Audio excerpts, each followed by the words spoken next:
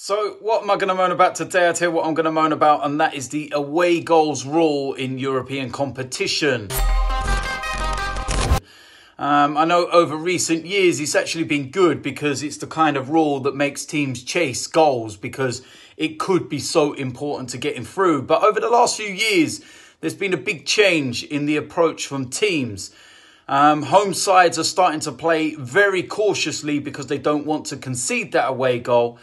And the away sides, when they score one, they decide to shut up shop. Barcelona, prime example last night.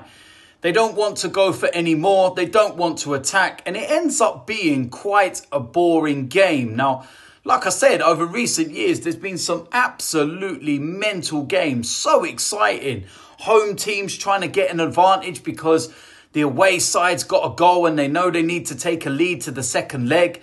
Away side's thinking, right, we need to go and score some goals now because we're losing by two. And but now it just doesn't seem to be that way anymore. Everything's cautious. Everything's like so boring and negative. So I'd like to see them maybe just for a season scrap the away goals rule and let's see what happens and whether it will actually benefit the performances. So um, yeah, that's what I'm going to moan about today.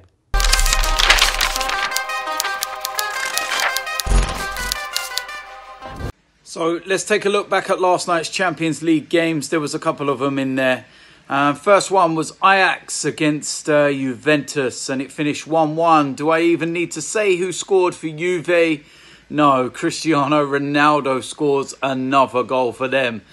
Um, but Ajax, they equalised, and um, it's going to be an interesting second leg. Now, I know that Juve will be favourites um, with the fact that they're at home and they do have that away goal, but Remember what Ajax did to Real Madrid in the last round. This tie is far from over. And um, I'll be looking forward to that one. The other game, of course, was Manchester United against Barcelona. And I think everyone before the tie kind of knew that Barcelona were going to win this game. But it was not a great performance from them. They did win the game 1 0. Um, was it a Luis Suarez goal or a Luke Shaw own goal?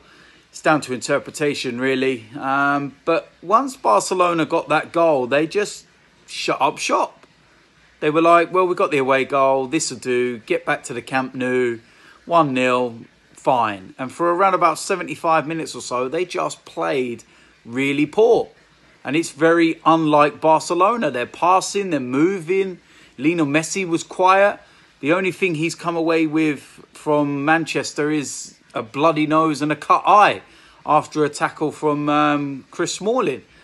But yeah, it just was not a great performance. Now, Manchester United, of course, will look at, you know, the likes of the game, you know, with PSG, where they managed to turn it round. They lost 2 0 at home in that one. But I think that Barcelona are just a different kind of side, especially at the Camp Nou. And um, surely they're not going to play that bad again.